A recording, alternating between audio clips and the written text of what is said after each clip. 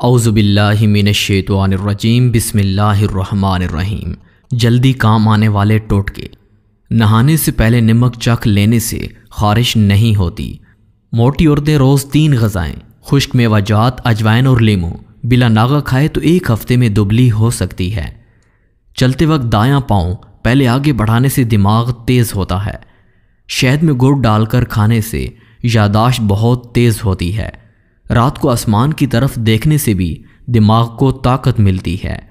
अर के गुलाब माथे की मालिश करने से यादाश्त तेज़ होती है। गर्म पानी से नहाने से दिमाग की रगें मज़बूत होती हैं। ठंडी चीज़ें खाने से दिमागी सलाहियत तबाह हो जाती है। देर से नींद आना दिमाग तेज़ होने की निशानी है।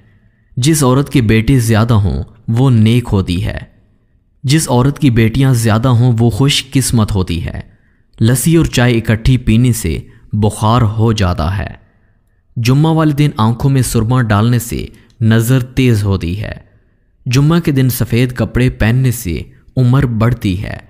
जुम्मा के दिन नाखन काटने से जिल्द की बीमारियाँ नहीं होती। लकड़ी की आग पर खाना बनाकर खाने से इंसान सेहतमंद होता है। नहार सलाद का इस्तेमाल उम्र में इजाफे का बायस बनता है। रोज़ाना एक या दो पालक के पत्ते चुभाने से मुँह पर झुरियाँ नहीं आती। भैंस का दूध पीने से जिसम मोटा होता है। गाय का दूध पीने से जवानी आती है। घर में रिज्क तंग हो जाए तो ये काम शुरू कर दें।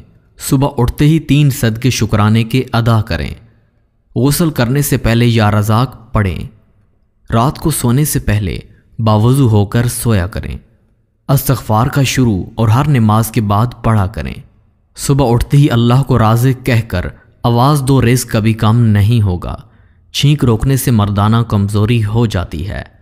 शाम को गोश्त न खाओ, कैंसर से बचे रहोगे। शाम को कड़वी चीज़ खाया करो, सेहत ठीक रहेगी। हकीम लुकमान ने फरमाया, मोटी औरतें अजवाइन, छोटी मक्खी का शहद और अजवा खजूर मिक्स करके खाएँ। तीन दिन में छः किलो वज़न कम हो जाएगा। चाय जल्द को ख़राब करती है। चाय का ज़्यादा इस्तेमाल बिनाई को कमज़ोर करता है। चाय मैदे को ख़राब और भूख को ख़त्म करती है। माहवारी के सात दिन रोज़ाना एक किन्नू खाने से माहवारी का दर्द दूर होता है। किन्नू मूड को ठीक करके चिड़चिड़ापन दूर करता है। जिसके हाथ पाँव सुन हो जाते हों, वो अपने हाथ के नाखनों पर मट्टी का तेल लगाएँ और फिर एक कतरा नाखन पर डालकर उसे मसले उसके हाथ पाँव सुन होना ख़त्म हो जाएँगे। दिन में सिर्फ़ एक से दो खीरे खाने से वज़न तेज़ी से कम करने में मदद मिलती है। खीरा झुरियों को ख़त्म करता है, बाल गिरने को कम करता है। खाने को चुबा चुबा कर खाने से पेट में गैस नहीं बनती। नहारमो अदरक की खुशबू सूंघने से फालिश की बीमारी नहीं होती। अंगूर खाने से काली खांसी फ़ौरन रुक जाती है। सुबह को सब्ज चीज़ें देखने से नज़र तेज़ हो जाती है। सुबह को चलने से कभी दिल की बीमारी नहीं होती। सुबह को चिकंदर खाने से कब्ज नहीं होती। फटकड़ी को आँखों पर फेरने से नज़र कम होती है। उल्टा मत सोया करें, वरना दिल के रुकने का खदशा होता है। दाएँ तरफ़ मुँह करके लेटने से कभी कमर टेढ़ी नहीं होती। सीने में बलगम हो तो फ़ौरन पालक के साथ कलवंजी खा लो। चने की दाल में सौंफ मिलाकर खाने से जवान रहोगे। सुबह को गर्दन पर जैतून के तेल की मालिश करने से गला बैठता नहीं। सूरह कुरेश पढ़ने की पाँच बरकतें। नंबर एक, खाना खाने के बाद अगर आप सूरह कुरेश पढ़ते हैं तो आपका पेट अंदर चला जाता है। नंबर दो, इंसान वक्त से पहले बूढ़ा नहीं होता, उम्र कम नज़र आती है।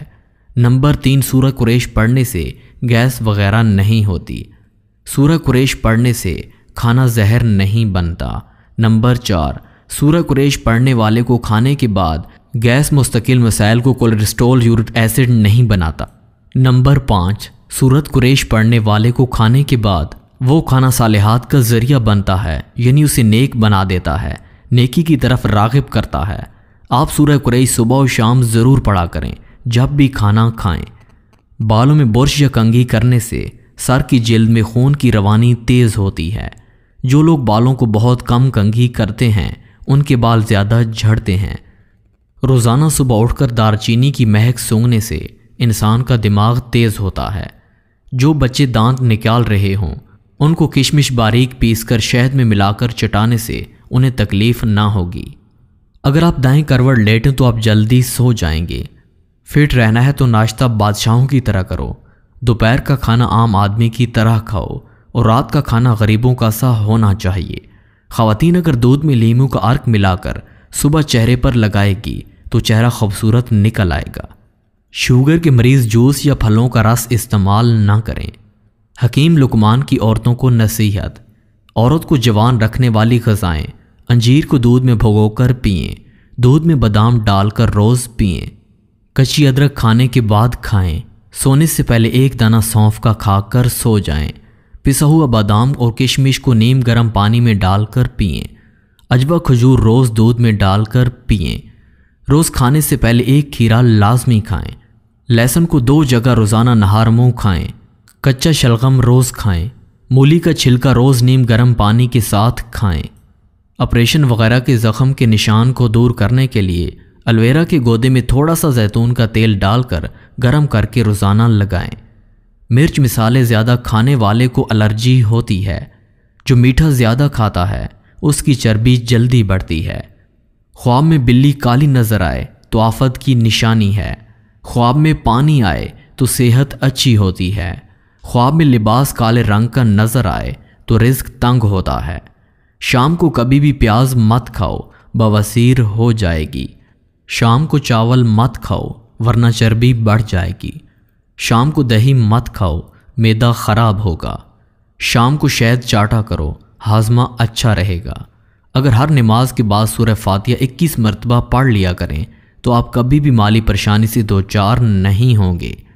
अगर आप चाहते हैं कि आपके सर में कभी खुश्की ना हो और कभी भी जुएँ ना हों तो आप चंबेली का तेल लगाएँ। अगर आपके सर में बहुत सी जुएँ हो जाएँ तो अपने बाल नमकीन पानी में भुगो दें। इससे आपकी जुओं का खात्मा हो जाएगा। चाय खाने को हजम नहीं होने देती। अंधेरे में कपड़े बदलने से सुस्ती ख़त्म हो जाती है। अंधेरे में खाना ना खाओ, सेहत कभी नहीं बनेगी।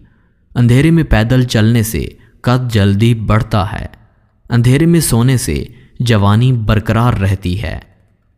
मोटी औरतें तीन गज़ाएँ, खुश्क मेवाजात अजवाइन और लीमू बिला नागा खाए तो एक हफ़्ते में दुबली हो सकती हैं। जुम्मा वाले दिन आँखों में सुरमा डालने से नज़र तेज़ होती है। क्यामत टीवी के प्यारे नाजरीन, अगर आज की इस वीडियो में बताए जाने वाले टोटकों में से एक टोटका भी आपको पसंद आया तो हमारी वीडियो को लाइक और चैनल को ज़रूर सब्सक्राइब कर दीजिएगा। और दूसरों के फ़ायदा के लिए इस वीडियो को दूसरे भाइयों में शेयर भी ज़रूर कीजिएगा। मिलते हैं इसी तरह की एक और वीडियो के साथ। तब तक अपने भाई आसिफ को इजाज़त दीजिए। अल्लाह ने के बान